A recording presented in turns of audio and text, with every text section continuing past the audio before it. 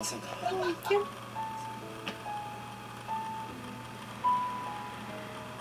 カメラマン辞めたのは本当に尾形先生のためなんですか？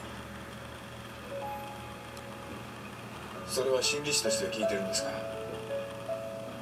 え違います。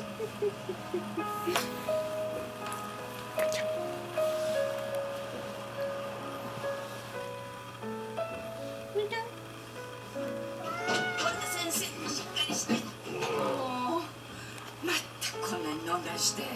どうしたかった？だってさって子供じゃあるまいし。どうしたの？複雑なんでしょ？里子さんの結婚があもしもし？そんなとこに寝込まないでくださいよ。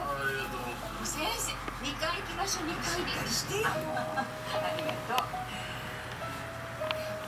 相変わらず幸せそうだね。幸せだよ。私にとっての幸せはどういうこと